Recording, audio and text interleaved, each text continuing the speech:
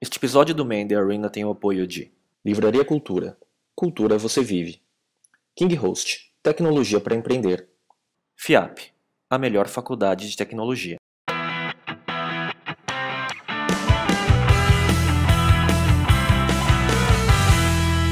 Olá, amigos. Esse é o Man Arena, um videocast sobre empreendedorismo e cultura digital. A gente está de volta aqui na Livraria Cultura do Shopping Guatemi em São Paulo. Eu sou Léo Cuba. Eu sou o Miguel Cavalcante, prazer estar aqui de volta. E hoje a gente tem o prazer de ter com a gente aqui Dan Strogo, que é o Country Manager de, do 99 Designs aqui no Brasil. Prazer ter você com a gente, obrigado por ter aceito o nosso convite, prazer é vindo do meu, Rio para estar aqui com a gente. Muito prazer bacana. estar aqui. Dan, conta um pouco pra gente. É, você é designer, Sou. né, empreendeu Aham. é, na área e na internet, mas como foi o antes de começar a empreender?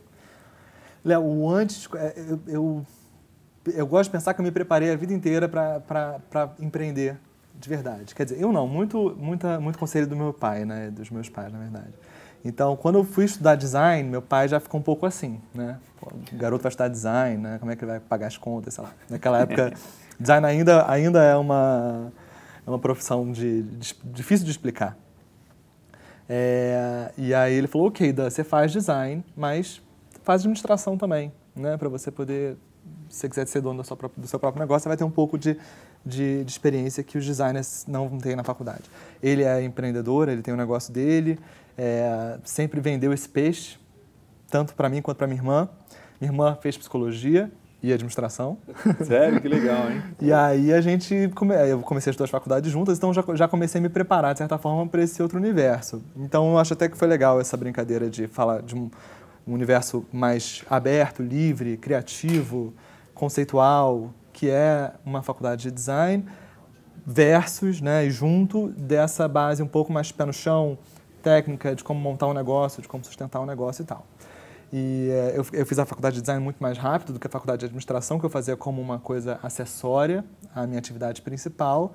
E aí, depois disso, foi trabalhar. Você terminou as duas? Terminei as duas. Caramba, que legal. Mas depois eu comecei a, tra- a- a- trabalhar em agências para tentar entender como é que funcionava o lado business dessas agências.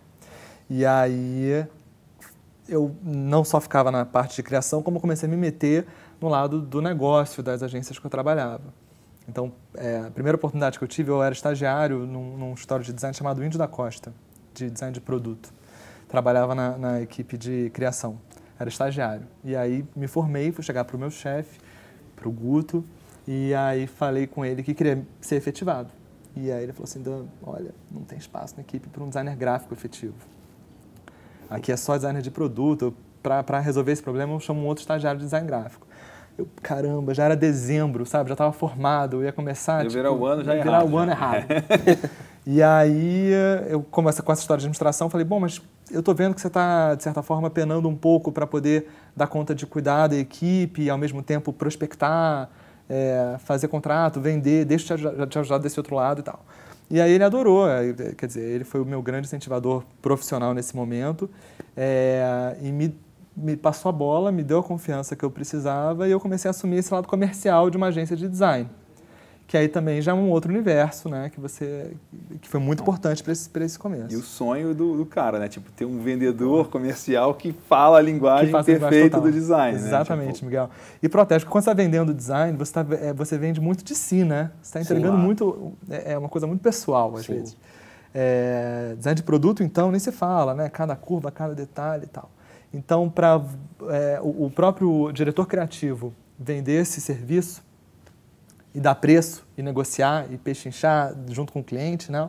É complicado. Então, ter sempre um homem de escudo lá na frente intermediando é Sim. muito bom. Depois eu comecei a trabalhar para o pai do Guto Índio, para o Luiz Eduardo, que, faz, que tem uma história de arquitetura e urbanismo na mesma casa. E aí eu já comecei a, a- ficar inquieto para saber, tá bom, tá na hora, já aprendi, já tá bem legal, quero fazer meu próprio negócio. E eh, isso foi em 2007, 2008. Você se formou em que ano? Me formei em 2005. E aí, na faculdade, desde 2001, surgiu uma empresa nos Estados Unidos chamada LogoWorks, que foi a primeira empresa que se propôs a oferecer design gráfico pela internet. E eh, no começo eu fiquei um pouco assim, né, eh, na retranca, achando que, eh, que era uma coisa, um modelo de negócio esquisito, nunca tinha ouvido falar disso. e os caras crescendo numa velocidade absurda. E é, um pouco depois, quando a ficha começou a cair, eu falei, gente, isso aqui é perfeito para o Brasil. Porque é, dentro de agências eu percebia que o pequeno empresário ficava completamente desatendido, ele não tinha espaço lá dentro, não tinha grana para pagar. Quando, quando ele conseguia fechar um contrato e ele aceitava, e, e a agência aceitava esse microempresário, ele ficava sempre no final da fila. Então, essa solução da LogoWorks acabava com esse problema. Trazia todo mundo para dentro do jogo. E o Brasil é um país de microempresários, é um país de pequenas empresas. 99, 98,9% de micro e pequenas empresas. Então, eu achava que era a cara do Brasil esse tipo de modelo. E aí, fiquei com aquilo na cabeça durante muito tempo, até ter aquela coragem mesmo falar assim, chega. Na verdade, já tinha coragem antes, mas a minha esposa ficava assim, tem certeza, sabe? Encontra um sócio, sabe? Faz, faz isso direito e tal. Foi aí que eu encontrei, reencontrei um amigo de infância, Davi Goldwasser, meu super amigo até hoje, e eh, também sempre soube que ele tinha essa inquietude assim de empreender. E aí eu fiz o pitch para ele do, do que seria essa empresa de vender design pela internet, seguindo esse modelo da LogoWorks lá nos Estados Unidos. E a gente querendo, a gente ele topou, a gente encarou, ele morava em São Paulo na época, ele é carioca, morava em São Paulo, a gente acaba se encontrando na ponte aérea e a gente montou o primeiro logochefe num modelo que seguia um pouco uh, o que era a LogoWorks, mas a gente tentou é, pivotar o modelo, tropicalizar para o Brasil. E, tentar... e, por que, que você chamou esse cara para ser seu sócio? Que ele tinha, ele não era designer. Não era designer. Era Miguel. administrador, alguma coisa. O que, ele... que, que, que complementava em você? Olha, primeiro é porque a gente, estudava, a gente estudou, estudou junto a vida inteira. Ele era um cara que tirava, tirava nota muito boa. Ele era um cara assim, inteligente. trabalhador. É. Ao mesmo tempo, era um cara completamente despojado, tinha um ótimo senso de humor. E eram aqueles caras brilhantes, sabe? Que nunca estudavam, sempre tiravam 10. É... Ele trabalhou também, ele, vem, ele é publicitário, estava trabalhando com marketing de serviço numa empresa de mobile. Então ele estava muito antenado com novas tecnologias e era inquieto, sabe? Sempre quis empreender. A gente se encontrava em todos os casamentos de amigos em comum e a gente falava assim, quando vai ser, ah, sabe? legal. Então já tinha um, uma sinergia. Tinha uma sinergia. Né? Porque tem coisa que não é nem técnica, né? Não, ele é bom nisso, naquilo, mas é do, do feeling, né? É. Do, da relação até, né? Total. E outra Total, coisa, ouvindo ele falar aqui, eu tô lembrando da entrevista do Marco Fishben do Descomplica, que é o cara fez a disrupção dele próprio, né?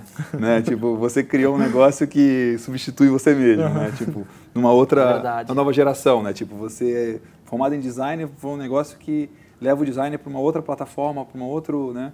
E combina com a internet, combina com esse efeito rede e tudo mais. Então é, é, é, muito interessante ver isso acontecer. Total, eu acho, mas é porque empreender é um pouco de ligar pontos, né? É. Assim, é você pega um pouco do, do, que você conhece bem e aí você, nas interfaces com os outros ambientes que você acaba circulando, perceber uma oportunidade, né? É, com, com, essa maluquice de também, e ficou, de certa forma, tão fácil empreender digitalmente, né? Já que você não tem que construir nada, já que você tem que montar nada, tem template para tudo tem um mercado de clones, você consegue botar qualquer coisa no ar do dia para a noite, MVPs e protótipos, etc. Que é, eu viro e mexo e fico até falando com amigos de outras áreas completamente diferentes, para eles ficarem atentos. O que está acontecendo aí? Quais são os problemas da sua área, sabe? Tem, eu sou casado com uma advogada, mas tenho amigos médicos, tem pessoal do mercado financeiro. O que, que, pode, que, que a gente pode a fazer? A forma de pensar, né? Se aplica é. a praticamente tudo. Que problema né? precisa tudo. ser resolvido. Que né? problema precisa ser resolvido. É. Que, sem dúvida, tem, tem, tem empresas maravilhosas que vão surgindo dessa, dessa mas conta um pouco mais do início do, do Logo Chef, quais foram os problemas, os desafios que deram aí para É porque você. você começou a falar do Logo Chef e falou, ah, não, porque a gente já é, tentou tropicalizar o modelo, pivotou em algumas coisas e tal. O que, que, que você foi aprendendo do mercado brasileiro que foi fazendo dar certo o seu negócio? Olha, é, eu, eu acho que eu tenho mais experiência ao contrário. O que, que foi dando errado, sabe? é verdade. Muito não, boa. A gente, a gente, começou, a gente te, testou um modelo que a gente acreditava que era é, é, é, todo marketplace tem uma preocupação com qualidade. Né? Então a gente ficava um pouco. É, a gente tinha um pé atrás do modelo da 99 Designs, que já existia quando a gente lançou o Logo Chef. A gente começou a falar em 2009, mas a gente lançou efetivamente em 2010. 99 Designs é de 2008. Então a gente ficou um pouco assim com uma plataforma completamente aberta, que qualquer um pudesse cadastrar como designer e começar a entregar ideias. A gente achava que a qualidade ia cair lá embaixo.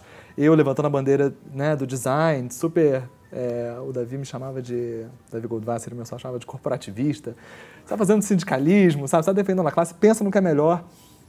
para o modelo de negócio. Tem qualidade tem que ter quantidade, né? Aí a gente criou um modelo, Miguel, que era que a gente até, em vez de crowdsourcing, a gente apelidou de elite sourcing, que a gente curou os designers a dedo.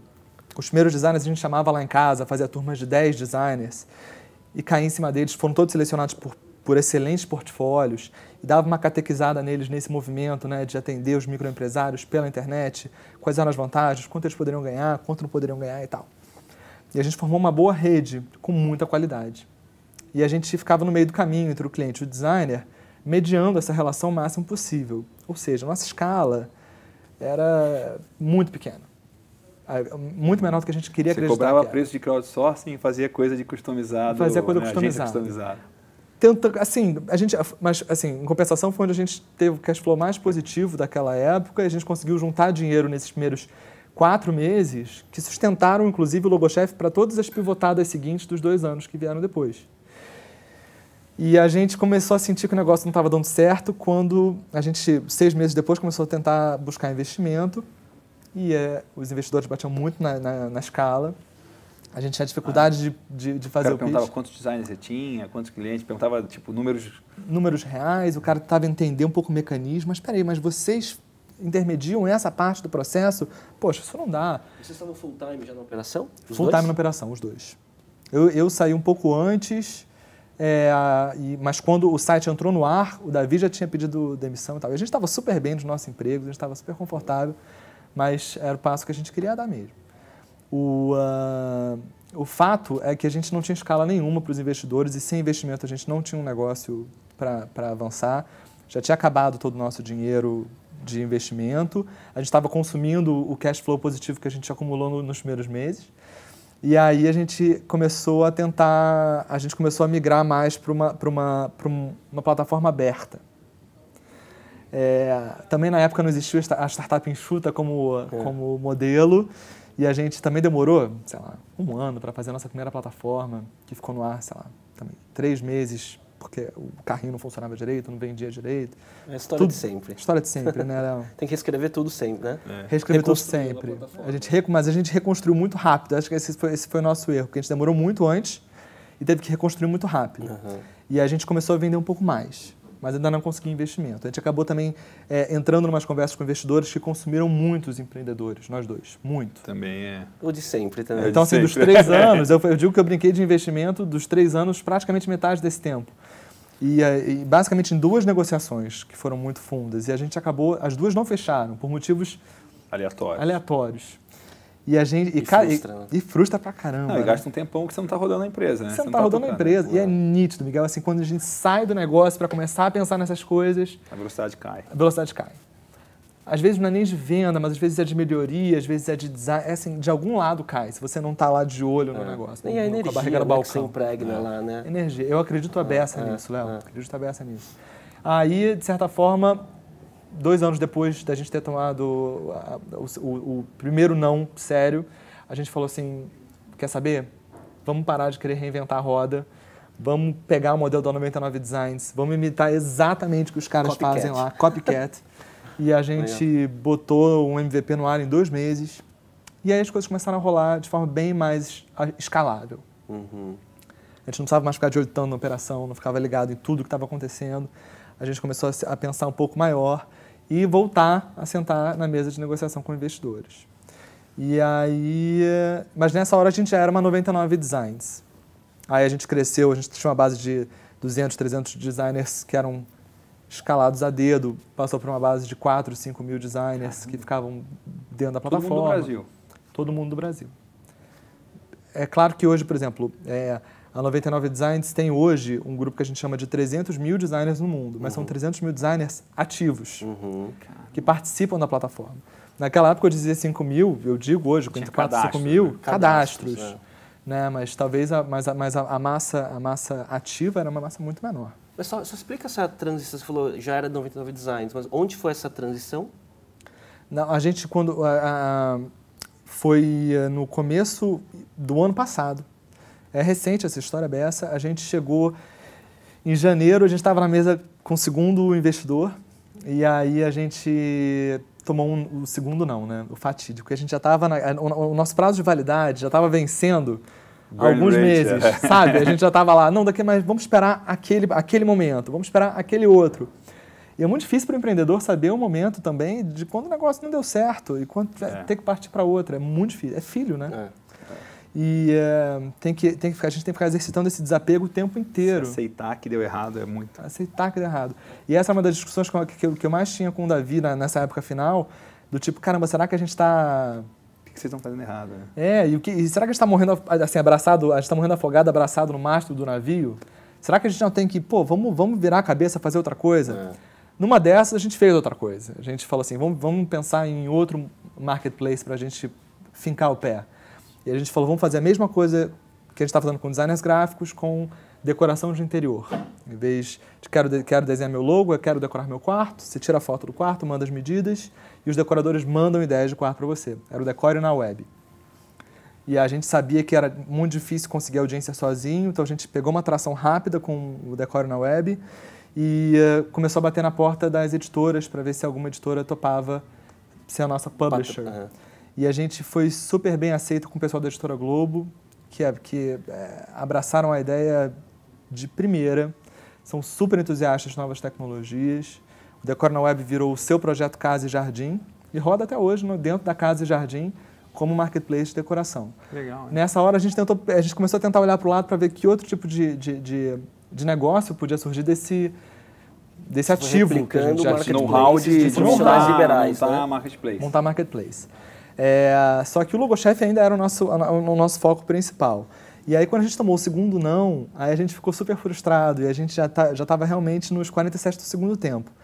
A gente falou assim, vamos falar com a 99 Designs? Já que a gente já... Não tinha falado nenhuma vez ainda. Nenhuma vez. A gente tinha falado com o Design Crowd, que era o, é o número 2 do mundo. É, a gente conhece todos os nossos concorrentes brasileiros, claro, mas a gente nunca tinha falado com eles. Aí a gente não, tinha, não conhecia ninguém que, podia, que pudesse apresentar a gente. A gente saiu incluindo o nome, a gente entrou no Quem Somos, adicionou todos os C, o CEO, CFO, CMO, COO no Skype, no LinkedIn. Ficou enchendo o saco dos caras. Até que o, ah, a gente conseguiu conversar com o CEO da 99 Designs, o Patrick, e para propor uma parceria. A gente, olha, somos brasileiros, temos aqui uma- um, um- um dos principais concorrentes desse, desse modelo de negócio no Brasil. A gente copiou vocês. É, a- a gente sabe que vocês estão vindo para o Brasil, porque a gente tinha umas dicas que eles estavam vindo para o Brasil, mas a gente não quer encarar vocês de frente, a gente quer juntar forças. né? A gente não quer ser concorrente, a gente quer ser aliado. E aí a gente começou esse namoro que acabou ah, migrando para uma aquisição que a gente nem esperava quando a gente bateu na porta deles pela primeira Ah, é? vez.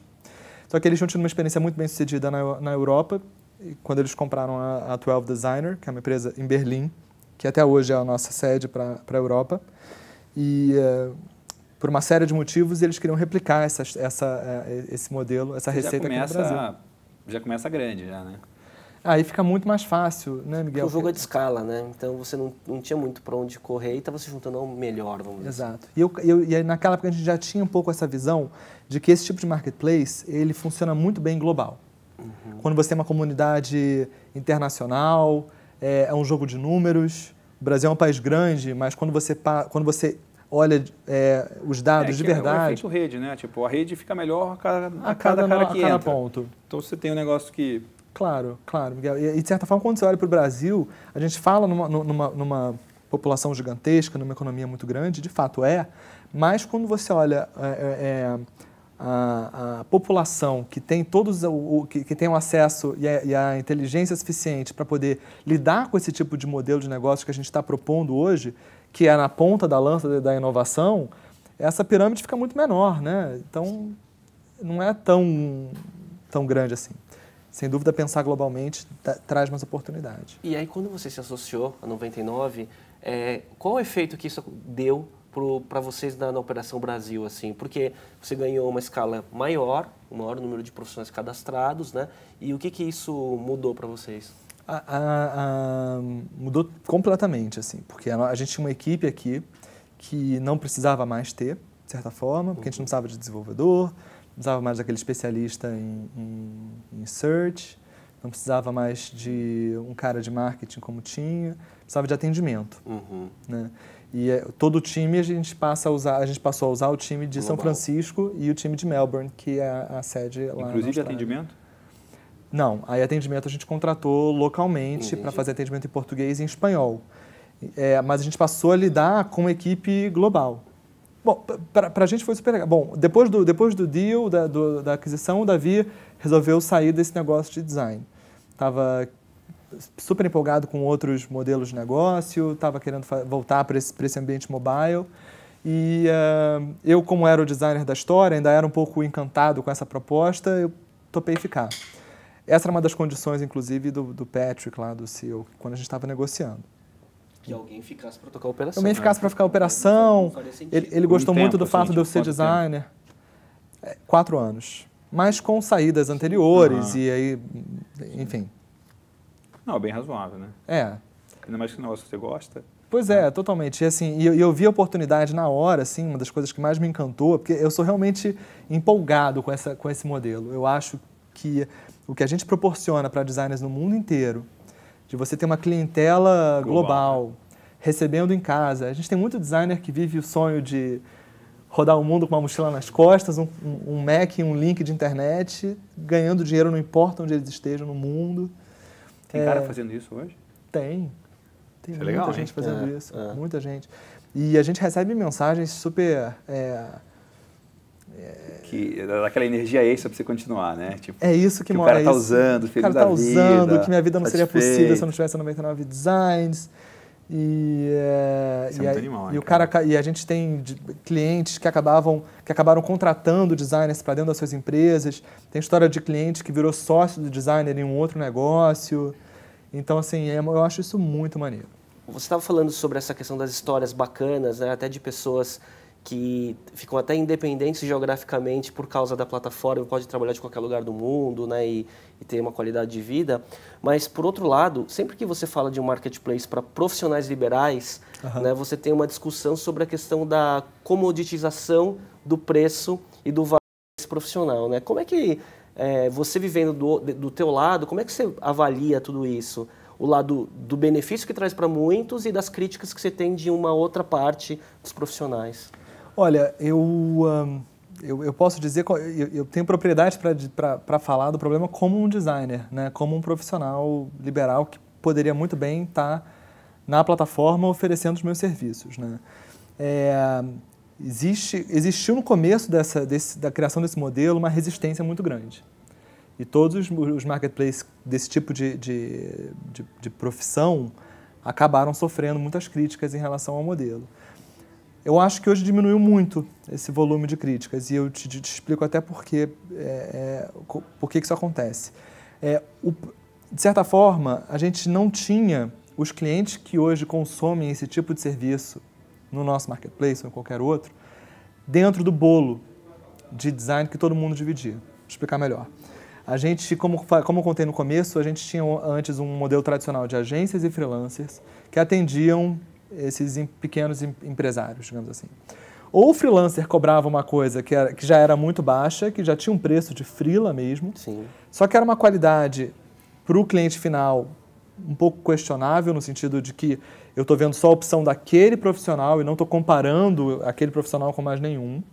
Ou você tinha agência, que já era cara demais para aquele empresário. É, eu também acredito que é muito legal você fazer um projeto de design quando você conhece o empresário, você frequenta o escritório dele, você faz uma imersão dentro da marca, você conversa com outros, é, que a gente chama de stakeholders daquela marca, e aí depois você faz uma, um- uma nova imersão dentro da sua equipe e volta com conceitos de design para representar como um logotipo ou como material impresso aquela marca que a gente está discutindo. Só que a quantidade de horas que você deposita numa relação dessa, contada no relógio, cobrada por hora, inviabiliza esse negócio para 90% dos empresários. Então, o que esse marketplace fez foi trazer esses 90% que estavam de fora para dentro do bolo. Então, o bolo cresceu muito. Então, hoje em dia, você tem um preço menor, às vezes, para um determinado serviço? Tem, mas você tem uma quantidade de gente muito maior.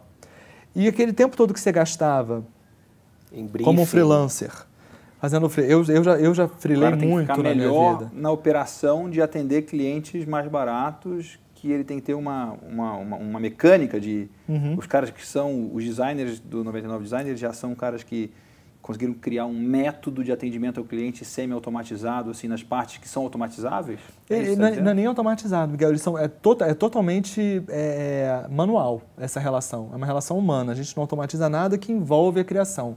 Só que como freelancer, hoje em dia, se o Léo me pedisse um projeto, eu ia, eu ia até o escritório do Léo, ia bater um papo com ele, ia pegar o trânsito de Sampa, sabe? Depois eu ia voltar para casa, ia ter que fazer uma proposta comercial. Todo designer detesta fazer proposta comercial. Sim. Ninguém sabe fazer. Ia mandar para você.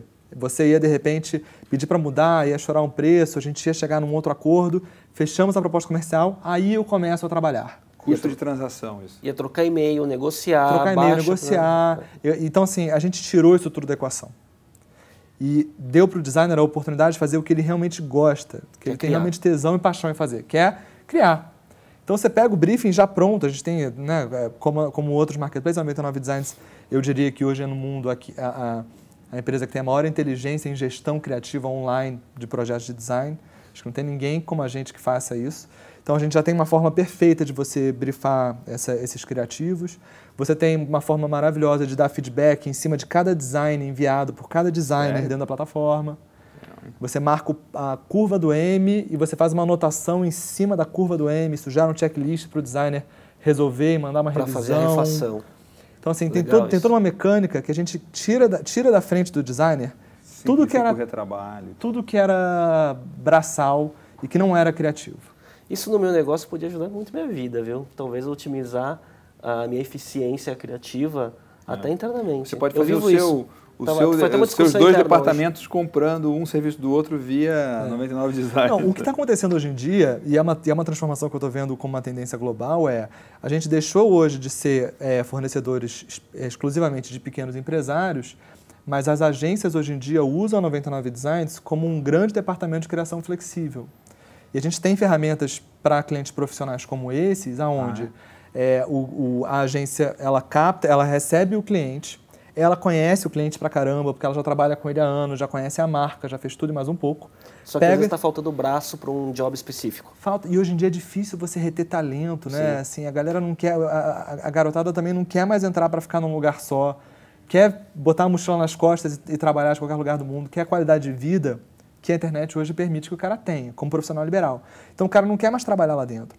Eu tenho, eu tenho, amigos nas maiores agências aqui de São Paulo que falam, que falam assim, caramba, Dan, eu tenho uma puta agência, cobertura do melhor prédio, paga um salário maravilhoso, e o cara que está saindo da faculdade olha para minha cara e fala, por que, que eu vou trabalhar para você? Se eu posso trabalhar naquele projeto do Ciclano, se eu posso participar da 99 Designs e tal.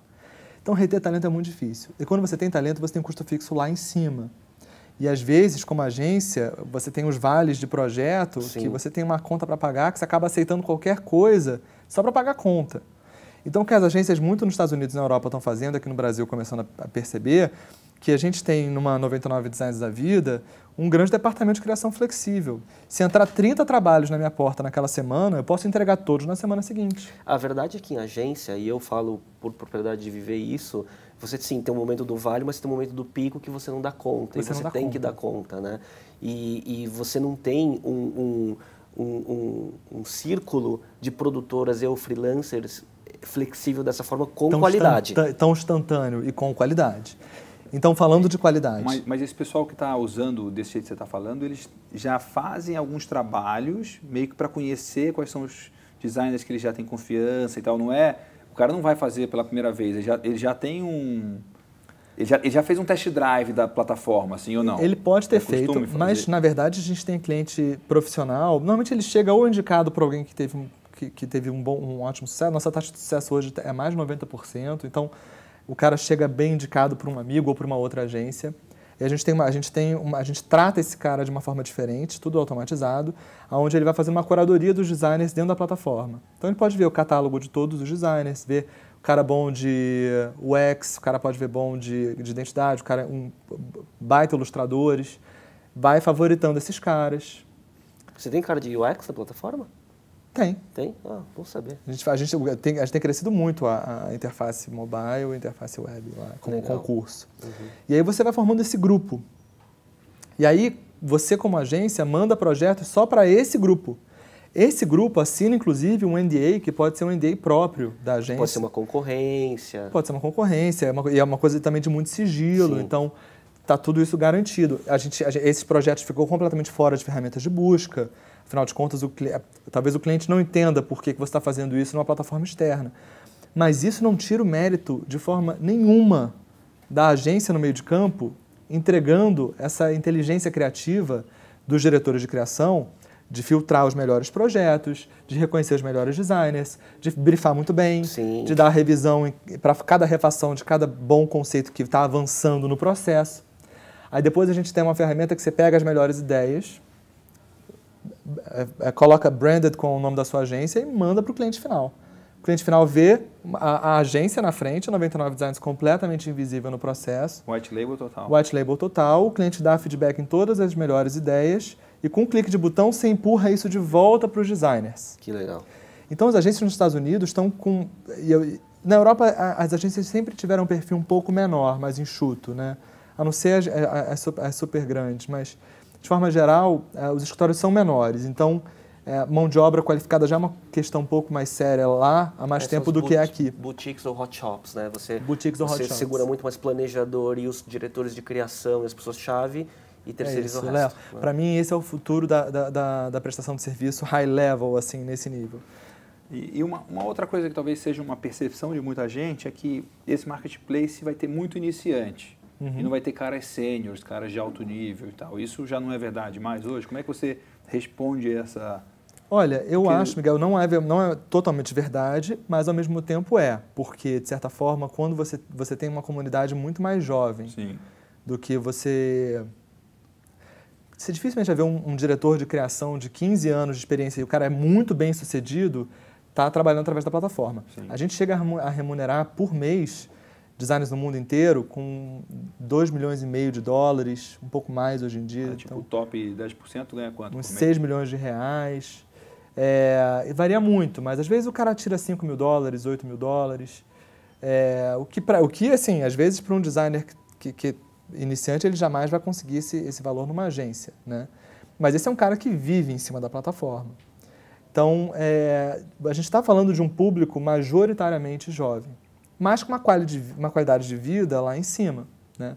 Porque tem cliente no mundo inteiro e trabalha, traba- trabalha online. Mas o que a gente faz é, a gente vai é, Isso é o legal também de toda a rede, né, Miguel? Como você estava falando do, do- de cada ponto da rede agregando valor para ela. É um automonitoramento que acontece. Então, quando os caras são muito bons, a própria comunidade enaltece aquele cara. Então, Sério? vai valorizando aquele cara. É, com like, vai curtindo, vai comentando É, em cima do um- design um- dele. Uma prova social, uma reputação que vai Tem ser uma reputação formada. que vai se formando. E aí a gente vai pensando nesses caras e vai elevando o status desses caras para designers que a gente chama de Platinum. Ah. E o oposto Se também é fazer verdadeiro. um, um trabalho só com Platinum, Faz eu só para Platinum. Se você, como agência, quer filtrar só Platinum para o seu projeto, você filtra só É, Platinum. tenho um budget para pagar mais, Claro. vou para, né? Claro, e como agência, você também, como agência de uma marca maior, de um cliente que seja médio, grande, você tem uma verba muito melhor para lidar Sim. do que um pequeno cliente. E se a gente está falando de, um, de uma boutique ou de um hot shop, você está falando de uma equipe muito enxuta.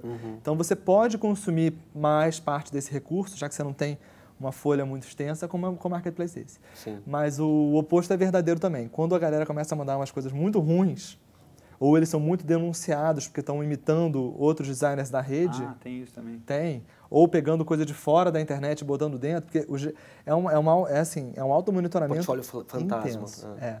E a galera é polícia mesmo, porque os caras vêm na hora que o cara botou uma imagem que é um vetor tirado de uma imagem de fora da internet, porque hoje em dia tem buscas de imagem, tem buscas reversas de Similaridades de imagem. imagem. né?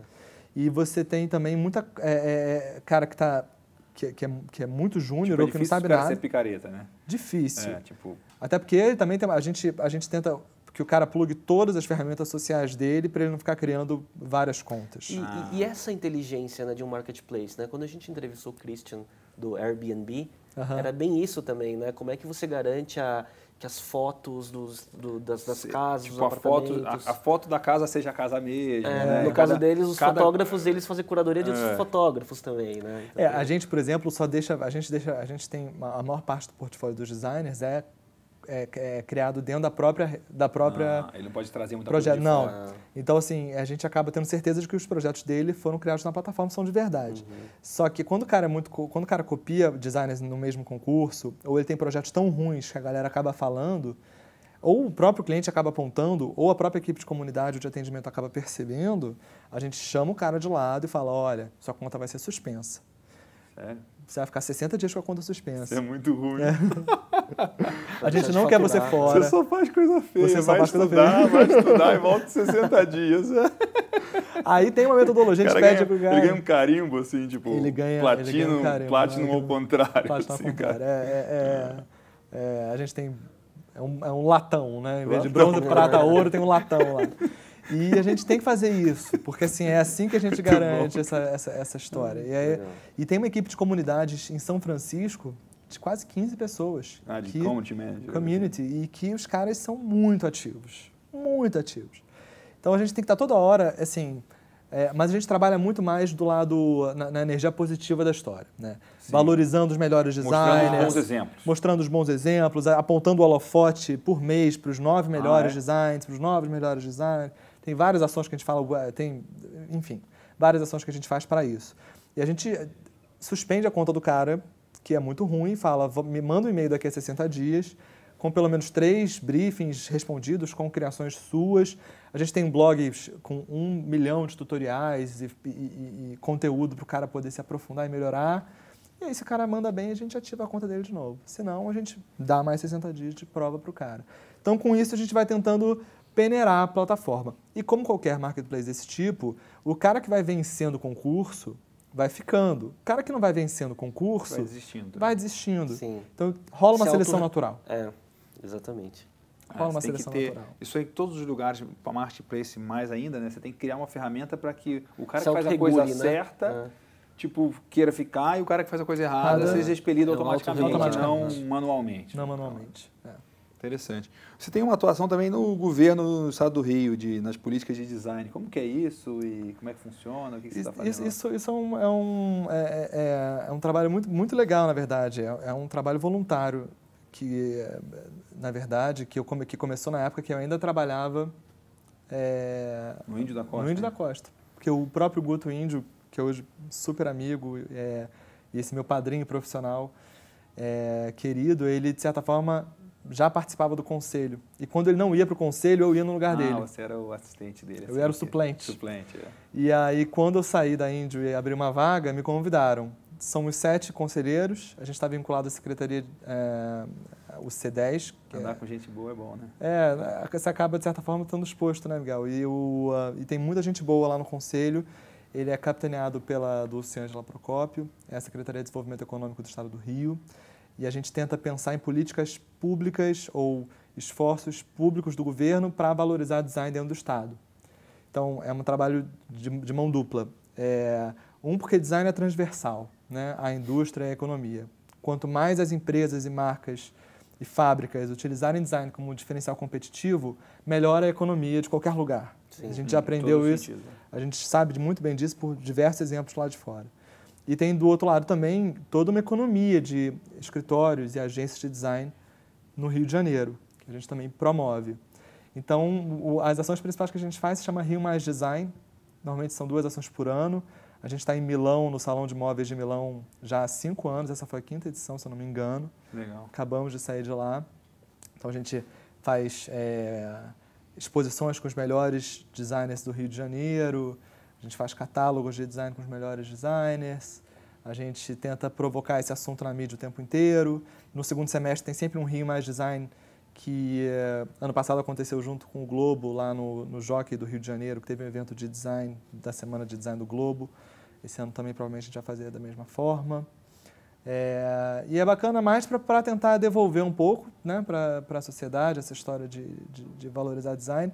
Design ainda é uma. Ape- Apesar de estar, de estar muito inserido dentro da, da, da, da, de to- de- da profissão de todos dia nós, do dia a dia, dia, ainda não é nenhuma profissão regulamentada.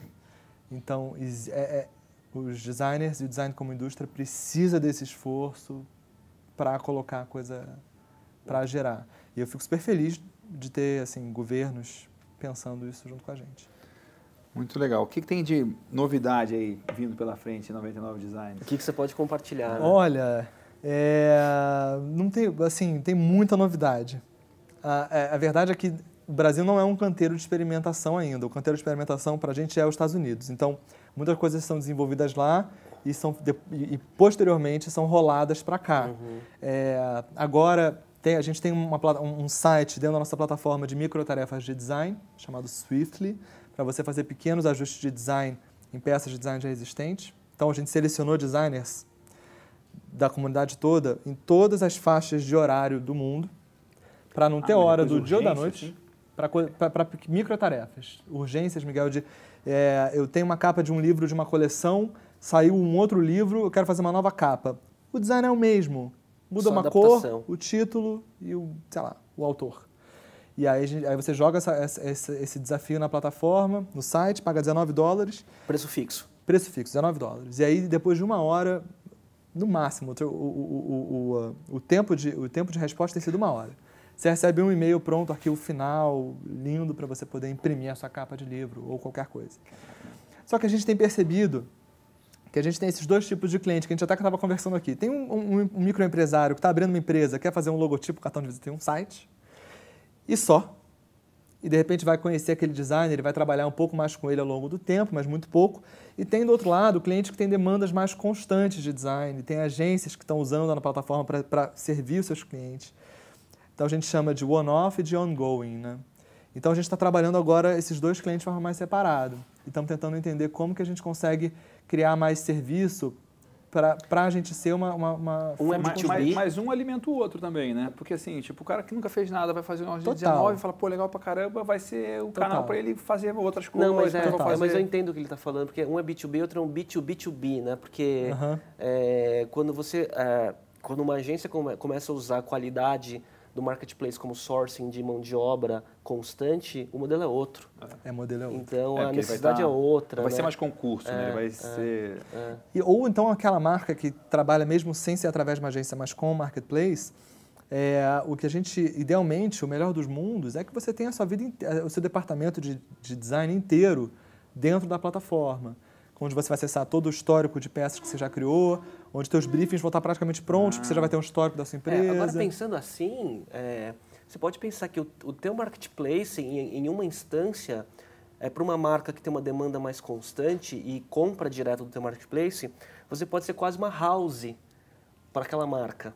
Perfeito. Não é? Porque o histórico está tudo lá. O histórico está todo lá. Né? Os assets estão lá e, e aí os criativos já estão acostumados a trabalhar com uma marca, então é como se você tivesse uma agência atendendo uma marca, Exatamente. onde os profissionais estão lá em diversas partes do mundo, não é? Diversas partes do mundo. Porque e você tem muita marca hoje que tem muita demanda e ela cria uma house dentro da estrutura dela, né? Isso daí é uma house dentro da, da 99. É uma house dentro da 99. É.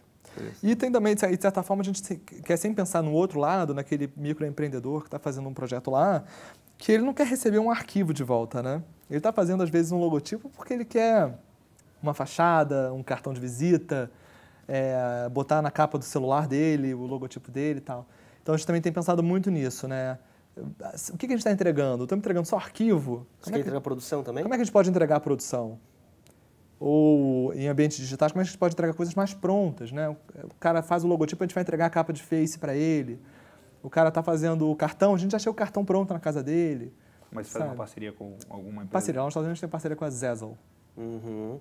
E aí você entrega para a produção ah. a, a partir produção. da sua plataforma. É, você vira um workflowzinho de tem produção. Tem no Brasil, tem Zezo no Brasil. Tem, tem Zezo ah. no Brasil. É, só que, é isso, é ruim, Mas isso só rola para cá quando, é. quando for um sucesso lá. Mas o cliente brasileiro já consegue consumir esse tipo de produto lá. E a gente dá suporte em português aqui. Mas o site ainda é em inglês e tal.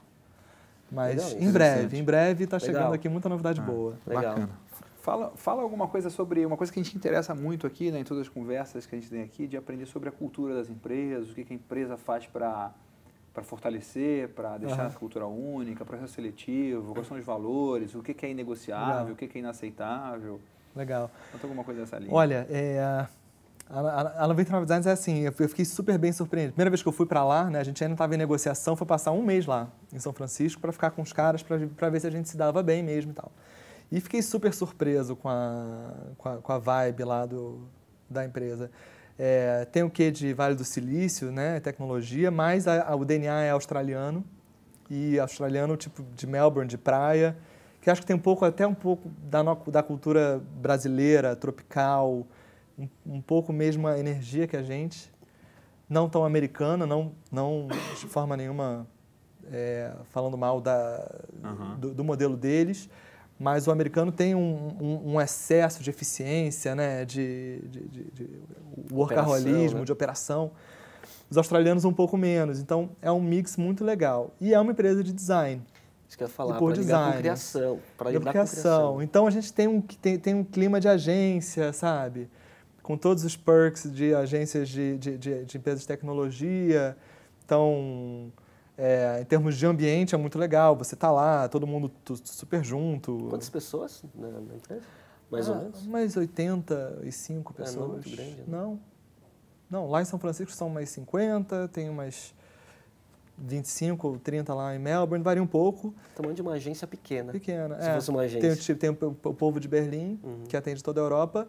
E o Rio é a quarta cidade da, da Mas 99 tem escritório? Com quantas pessoas Temos escritório tem? com três pessoas. A gente faz atendimento, a gente faz atendimento lá, tem, a gente tem uma Argentina na equipe, faz atendimento da América Latina. E a gente vai crescer a nossa equipe agora em atendimento. Legal. É, agora, o, em termos de valores, assim, é, a gente busca pessoas sempre com um perfil mais criativo, empreendedor criativo. Eu diria que são as duas palavras que a gente busca. E sempre a gente pensa muito no perfil pessoal das pessoas que estão entrando lá. Então, uma curiosidade. A gente está sem CFO agora, porque a gente perdeu a nossa CFO recentemente e tal. É, e, e, tal, e, tal, e, de certa forma, no processo de contratação disso, estava conversando com o CEO sobre isso, ele estava falando, caramba, é muito difícil encontrar um perfil que seja financeiro, né, que seja de controller mesmo, que tem todos esse, que, que já, já, a gente já imagina todo um, um, um determinado um perfil, perfil, mas que se encaixe com essa energia criativa de agência e tal. É difícil encontrar essa, esse tipo de pessoa, porque se for uma pessoa muito com perfil de banco, não funciona pra é, gente. É, Tem que ser mais perfil de Tem agência. Tem que ser um cara renegado. Do, Tem que ser um renegado. É. Então, mas é muito legal, o povo é muito junto. A gente tem uma certa dificuldade de manter uma comunicação global, acho como toda empresa global, mas tem tanta ferramenta boa para fazer isso hoje. E é, só que a gente está em, em, quatro fusos completamente diferentes, né? De Berlim, tem Berlim, Rio, São Francisco e Melbourne. Então numa, a gente está bem ah, separado. Bem separado né? Então eu converso com o pessoal da Europa de manhã, o pessoal de São Francisco à tarde. A Austrália raramente conversa, a não sei que eu estou às 9, 10 da noite ligado. E o que, que é o perfil ideal de um country manager? Olha, eu gosto, eu, eu vou é, pensar, vendendo meu peixe aqui. Eu acho que é, é, é, é, tem que ser empreendedor, tem que ter, deve ter sido empreendedor. Assim, eu gostaria de dizer até assim, já teve seu próprio negócio, uhum. sabe? É um cara que, que porque quando você é country manager, você está um pouco, está muito distante da, do corpo executivo da empresa, né? Tem então, que se virar sozinho. Você né? tem que se virar sozinho, você, você tem que se sentir dono daqui. E assim, eu me sinto muito dono do, da 99 Designs no Brasil e tenho toda a autonomia do mundo para fazer o que eu quiser. às vezes eu me sinto até um pouco, né, até é autonomia demais. demais. É. É. Então, gente, eu posso fazer o que eu quiser aqui, posso fazer o que eu quiser. Eu tenho essa liberdade absoluta para depois, claro, justificar, medir e tal. Agora, se eu nunca tivesse sido dono do negócio, eu não sei se eu estaria encarando essa função muito com os olhos de funcionário. E aí você fica um pouco mais tímido, né? um pouco mais acanhado. Perguntando demais, às vezes, não tomando muita iniciativa por conta própria. É, você era dono do negócio que fazia a mesma coisa, né? Que então, fazia a então, mesma coisa. Um mercado totalmente diferente para eles, então você é um ativo Exatamente, muito grande, né? um ativo é. muito grande. Aí, acho que foi por aí que a gente conseguiu conquistar um pouco eles. Então eu diria que é ter tido uma empresa no passado. Que legal. E Dan, chegando no final, a gente agora tem tá. esse finalzinho com as dicas de, de livros, né? Aprendizado. É, é, tanto com, com ah, e o aprendizado também. Mas a gente queria falar primeiro da, da, da dica de livro e depois para fechar o aprendizado. Qual o livro que você gostaria de indicar para o nosso público que está aqui e para quem está assistindo? Olha, é, eu li um livro muito bom recentemente. Eu, te, eu, é, eu tenho um pouco de... Eu, eu morei em Israel uma época, no ano 2000, passei o ano 2000 morando em Israel trabalhando numa comunidade socialista, tal, sou muito tenho uma certa ligação kibbutz. com aquela cultura, num kibbutz e tal. É, e o, os israelenses dão um banho de empreendedorismo na área tech hoje. Sim. É, ultrapassando todos os, os recordes de desde patentes de, de inovação a pessoa, ao doutorandos ou a empresa de tecnologia hum, com ações na bolsa e tal. E tem um livro chamado A Nação Empreendedora, The Startup Nation, feita por dois autores, esqueci os nomes deles agora, um se chama Dan, meu xará, é, o outro é Senor, se eu não me engano, e uh, eles tentam explicar através de, é, de casos concretos o porquê do, uh, desse boom de empreendedorismo de Israel, esse boom tecnológico de Israel. E, e, e, as razões são as, são as mais impressionantes possíveis. Vai desde uma imigração imensa de, de judeus do mundo inteiro para lá, e muitas vezes esses judeus, a imigração russa trouxe muitos engenheiros e matemáticos para dentro do país.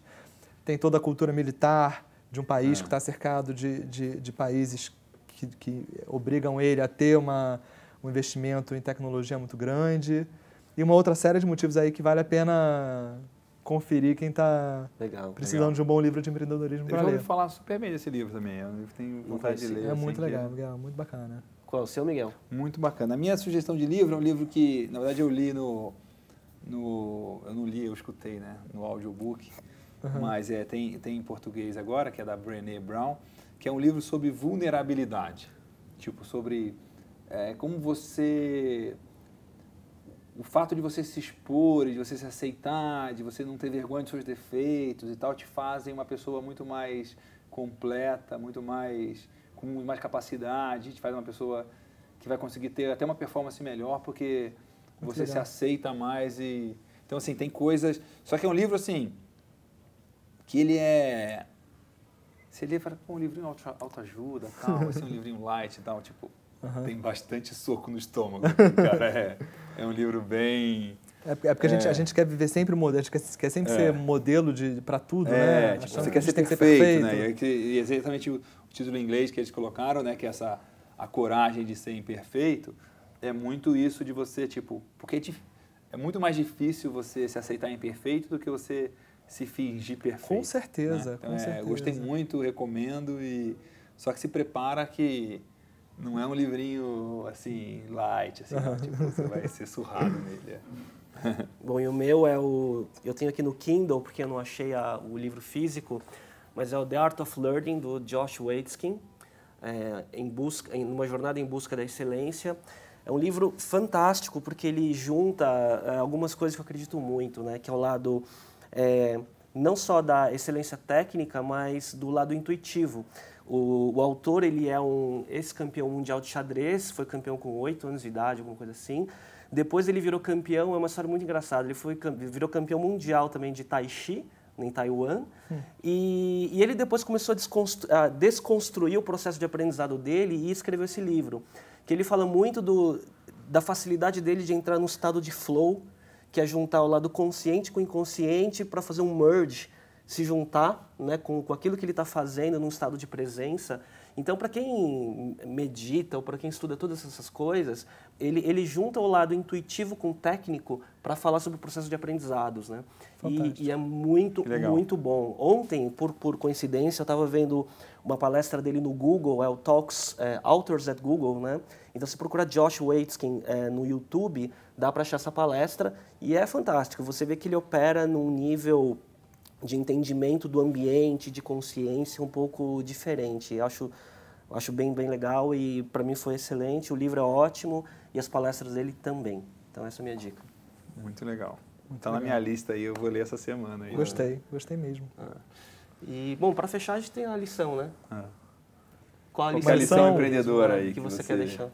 Olha, vou começar com começo, vou começar com o começo é bom, mas vou voltar para o começo da nossa conversa. Assim, eu, eu foi muito importante no meu primeiro passo para abrir o meu primeiro negócio escutar as pessoas que estavam que são muito próximas de mim.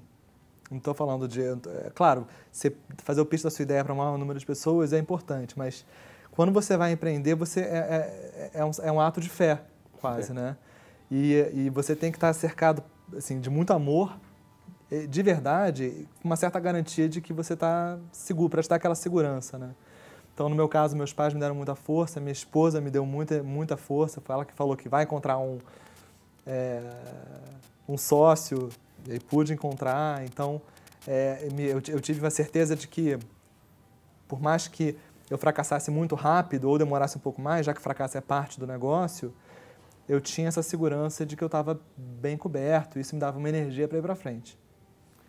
Uma dica meio emocional, meio emotiva, nada muito. Não, mas isso acho que é nada muito, muito técnico. É muito valioso isso e a gente acaba não, não lembrando disso, né? Porque até o Léo, a gente participa junto, a gente tem um grupo de empreendedores que se reúne uma vez Que por legal. mês. De peers, né? É, de Uhum. peers para troca de experiências, trocas de tipo de questões é, individuais e tem um moderador e tem pessoas de fora que vêm fazer palestra. Muito legal. Mas assim, é um grupo pequeno, hoje tem oito pessoas e o grande ativo desse grupo não é o conhecimento, Aham. né? Tipo, é você, é você ter suporte tipo do cara que vai te apoiar e também do cara que te conhece e vai dizer, você está falando, fazendo bobagem aqui, É. vai dar errado isso aqui, ou tipo, abre o olho, você está sendo burro aqui, Aham. né? Tipo, e, e- e esse apoio é muito importante mesmo, né? Muito, né? Porque que- que se, você não Tudo. tem, se você não tem esse relacionamento, as pessoas não vão falar todas as verdades É, para você. Exato. E não tem como você. Você já vai contra o mundo quando você está É. empreendendo, né? É. Não é tão fácil. Então você tem pelo menos pessoas que gostam de você E, do seu lado. E as pessoas têm que te apoiar mesmo. Tem uma outra coisa que eu acho, tem um cara que é coach nos Estados Unidos de empreendedores, que eu conheci ele pelo Gaping Void lá. E ele tem uma figura de linguagem que é, fala assim que o empreendedorismo, o cara empreendedor, ele tem a história de um, de um ceramista chinês Uhum. que fazia, né, tipo vasos e tal. E aí nunca ficava bom o vaso. E aí um dia ele, desesperado, ele caiu dentro do fogo lá que queimava o vaso e ele se queimou junto. Aí depois acharam o vaso, né, é uma história metafórica, né? Aham. Mas acharam o vaso lá que tinha ficado perfeito. Né? Então assim, tipo, o cara tem que se dar inte- integralmente para o negócio ficar fazer perfeito. parte do. Aí eu falei isso para um amigo meu e ele falou assim: é, o problema é que muitas vezes você quer que a sua mulher pule junto e se queime junto, né? E tipo, e a escolha é sua, né? É. Então é, é muito isso assim, tipo, às vezes é uma jornada que te exaure muito, que te consome muito, mas as pessoas que estão à sua volta também vão ser consumidas de alguma Vão forma. ser consumidas. E elas têm que ter comprado a ideia também, comprado a, jo- a jo- a jornada Tem também. que ter, né? Miguel, tem É. que ter. Porque senão você vai chegar em casa e né, vai, vai conversar com sua esposa que já não queria que você fizesse É, aquilo. vai funcionar. A chance de você dar, dar toda a tua energia no dia seguinte, como você falou, é, É bem, bem pequena. difícil. né? Então é isso. Legal. Dan, obrigado pela presença. Imagina, gente, obrigado. adorei o papo com vocês. Fantástico, demais. muito legal. Muito obrigado pelo convite. Ok, obrigado e a gente volta no próximo episódio.